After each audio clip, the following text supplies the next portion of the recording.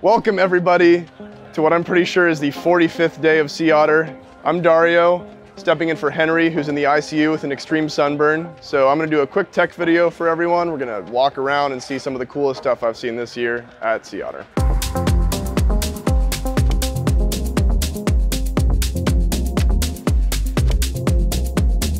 We're here in the Yeti booth with the brand new Yeti downhill bike. Unfortunately not for public consumption yet. This has already seen a ton of success under Richie Rude, for whom it was custom built. He just handily won the Oceania Champs downhill race on this very bike. It sports 203 millimeters of rear travel, a full Fox 40 up front. It's got mixed wheels, and it is a very impressive machine. Yeti kind of took their six bar linkage design from their e-bike, beefed it up a little bit for the downhill bike, and did some tweaks that they could only do on a downhill bike, which kind of gave them, uh, say, like broader parameters to make it exactly as performative as they wanted it to be. Um, with the new six bar design, they actually have a link going directly through the seat tube, which you couldn't do on any of their pedal bikes because of the dropper post situation. It's got angle adjust, reach adjust headset. It's got a flip chip for shock progression, and it has chainstay length adjustment. So definitely the kind of thing that can be tweaked a lot to fit different racetracks throughout the year. We don't have a very clear idea of what races Richie's going to be doing on this bike yet, but from what I heard, he does now qualify for world champs, so we'll probably see him there, which is pretty exciting. I'm hoping we see him at a couple other races throughout the calendar, but only time will tell. We are now at the Box Components booth looking at their brand new Prime 9 drivetrain. Um, they've been working on this drivetrain for about five years, so it's the culmination of a lot of work. Essentially, this is a nine-speed, full-range mountain bike drivetrain. It's got 11 to 50 tooth cassette. The cassette itself on the nicest version is machined out of one piece of steel, which is pretty cool should help with durability. They have their own shifter, their own derailleur, and it runs on a standard nine-speed chain. Uh, their estimated retail on the whole system is going to be around $680. And that gets you a shifter, derailleur, cassette, and chain. I think what's impressive about this is, one, it's completely developed in-house by a company that isn't one of the two gigantic drivetrain companies. We are now hiding behind the Push Industries booth, checking out their new inverted mountain bike fork.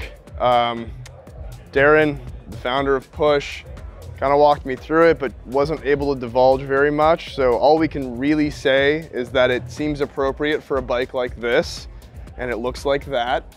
As far as inverted forks go, they have kind of a colored past when it comes to like torsional stiffness and how they actually perform on trail. But it looks like Push has spent a ton of time focused on stiffness for this. Like the chassis up top is super beefy. This upper crown unit overlaps the lower tubes a lot. It looks to be quite robust. And then the axle system has like two double clamps, big old axle in there. It still seems to run on a 15 mil axle. Sorry to all 10 of you who really want things to go 20 mil.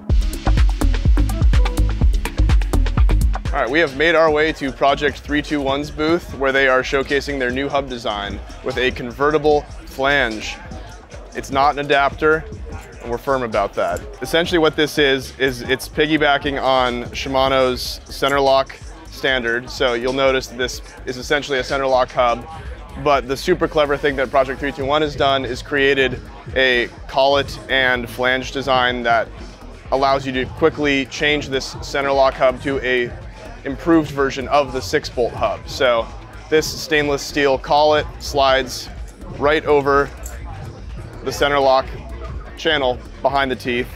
So this sits in there and you slide the flange over top, giving you a six bolt design and then you just plop a rotor on there, tighten down all six bolts. And what's improved about this over a six bolt design is the disc is no longer putting shear force on the six bolts themselves, but instead on that stainless steel collet, which should keep it from loosening over time. It also doesn't have any rocking that your average center lock hub might have. Overall, I think it's a really impressive product. It's of course riding on the Project 321 hubs, which are super high engagement, really nicely built. Uh, retail on the set is $650 roughly.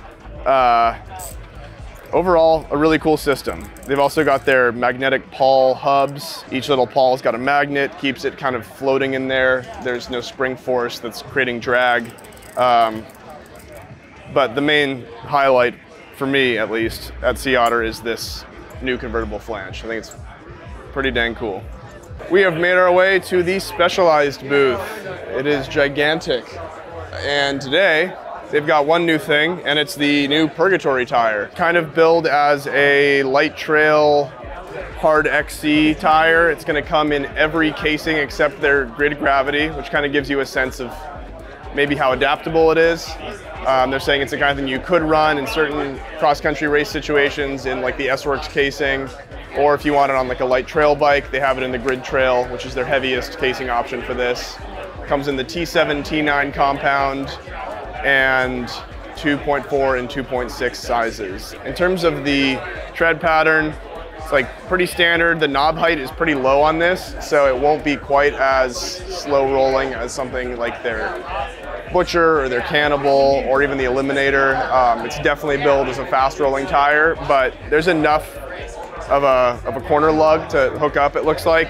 It has the little block and block technology that they've been using on a lot of their tires recently, and I've really liked the way that that performs on tires like the Hillbilly. So uh, we haven't spent any time on these yet, but I'm excited to, to do so, and we'll let you know how they are. All right, thanks everybody for spending some time with me today. I'm currently getting my brain scanned by Outride. They're gonna upload my consciousness into the cloud. Once we're done with that, I'm gonna go get some more stickers, pick up Henry from the hospital, and we're gonna call Sea Otter a wrap. Be sure to subscribe for more content and check the site. There's a lot more cool stuff coming. Thank you. Goodbye.